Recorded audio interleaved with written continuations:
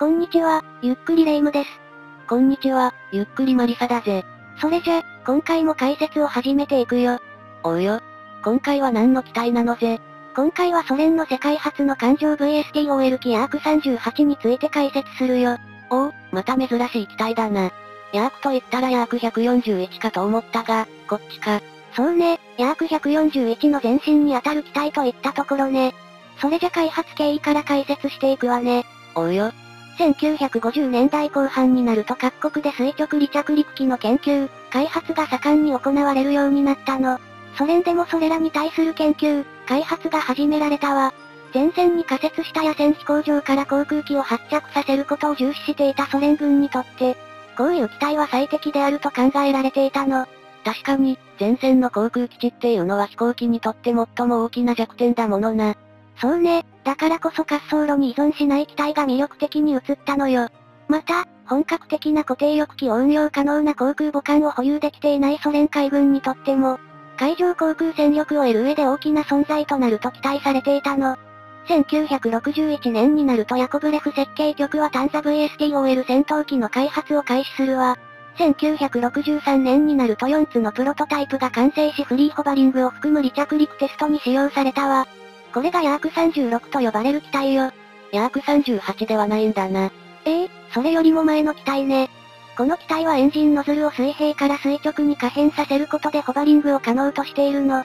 1964年7月27日には滑走による初飛行を行って、1966年には試作3号機がホバリングから水平飛行へ、また水平飛行からホバリングへの移行による完全垂直離着陸に成功したわ。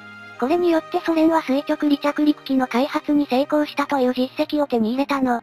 他にもモスクワ級ヘリコプター巡洋艦での離着陸運用試験も行われたり、1967年のモスクワ航空ショーで公開されたりもしているわ。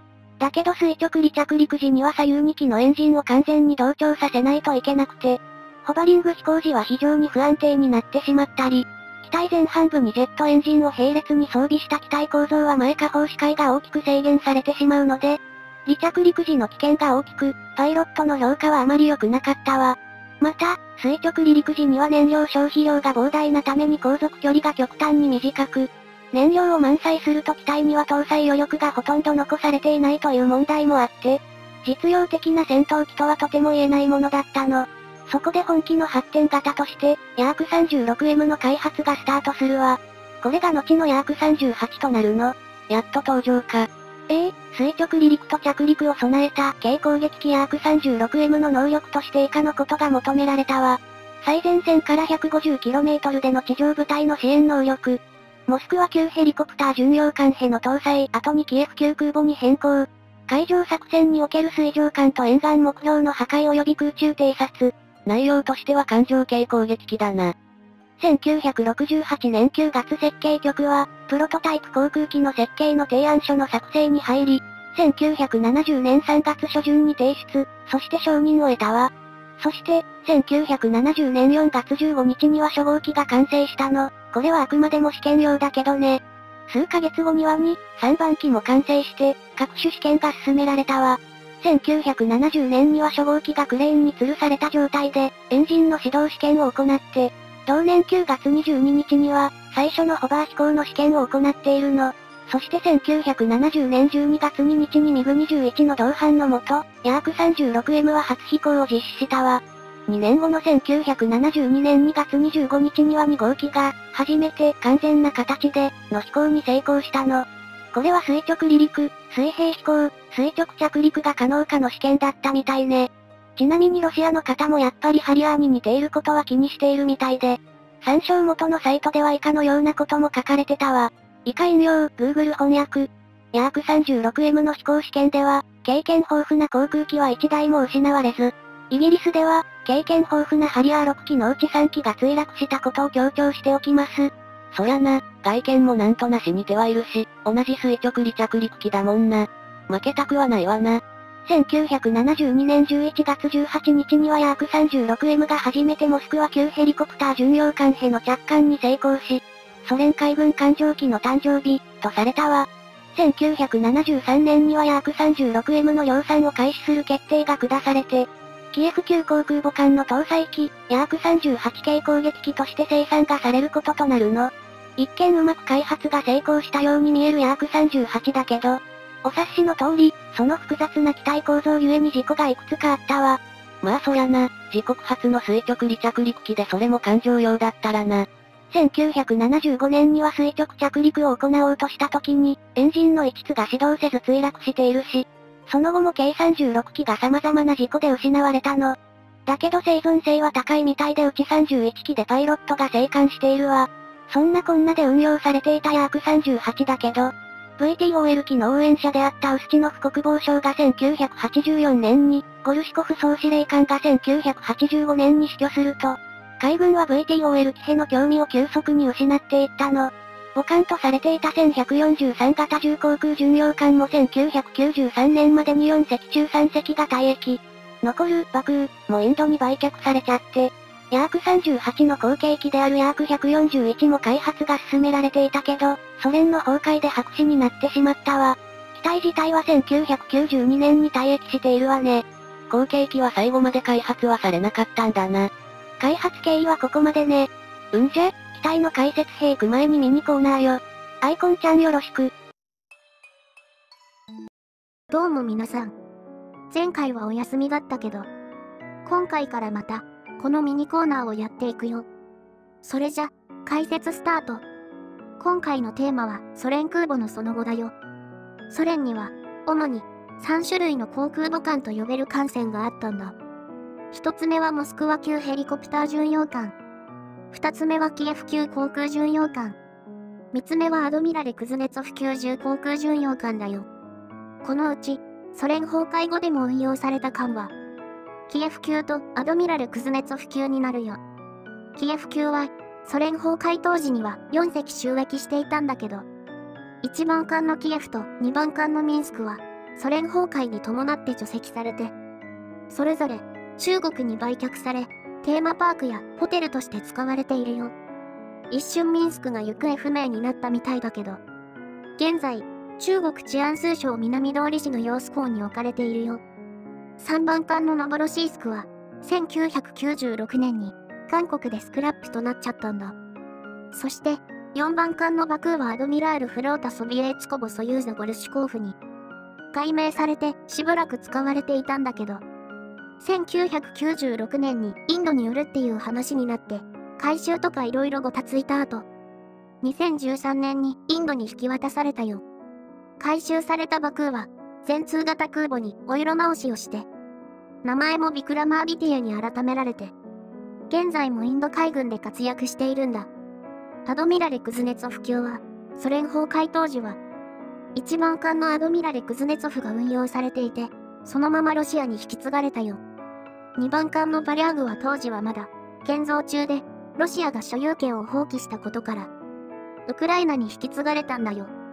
その後、1998年に、レジャー用として、マカオの中国企業に売却されたんだ。だけど、その会社の社長が退役軍人だったこともあって、中国本土になんだかんだで移動。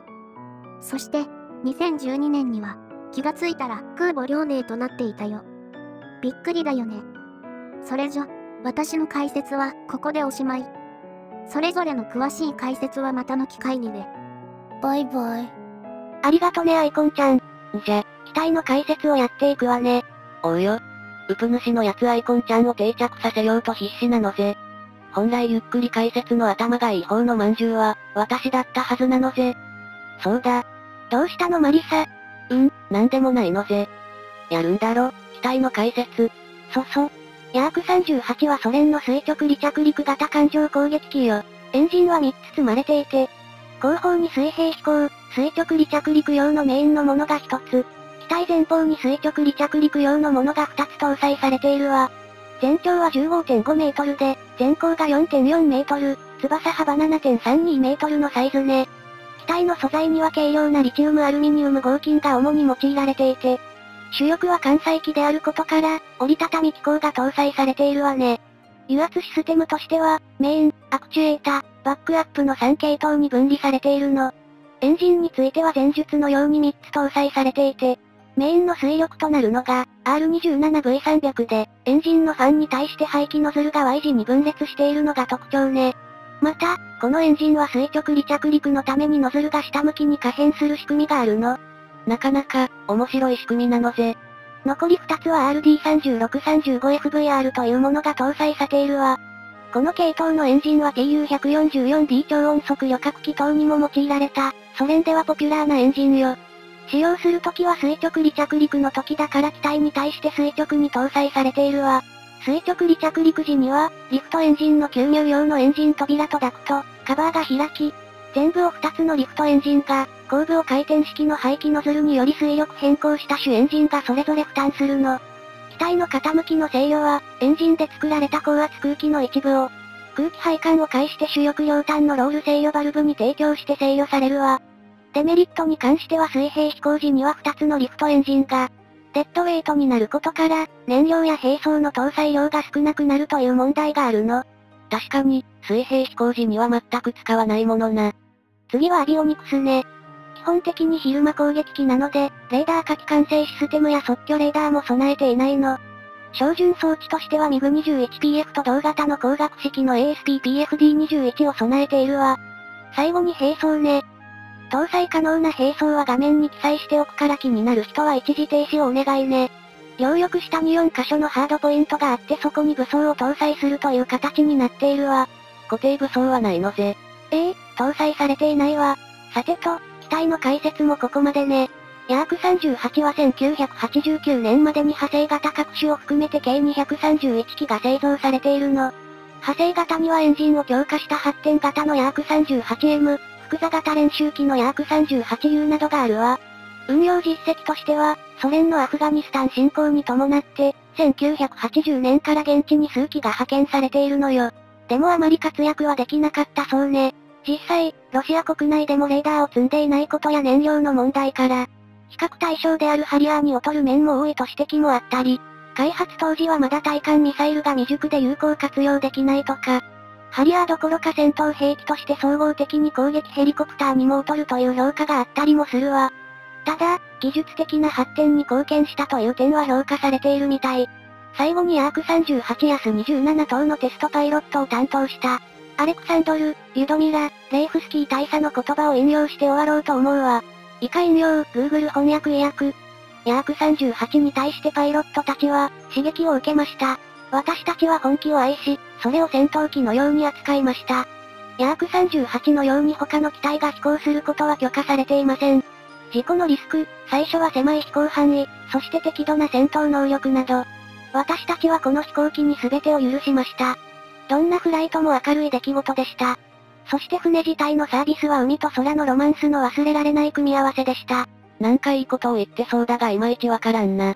ウプ主は当然ロシア語できないし、下手に色つけるくらいなら、本当に意味がわからないとこ以外は触らないって言ってたわ。そりゃそうか。あと、下手にカッコつけた漢字を演出しようとして失敗するとこうなるぞとも言ってたわ。じゃあカットしろよ。それじゃ、今回の解説はここまでです。気に入ってくださった方はぜひチャンネル登録をお願いします。うぷ主は Twitter もやっているので気が向いたらフォローよろしくなのぜ。ご視聴ありがとうございました。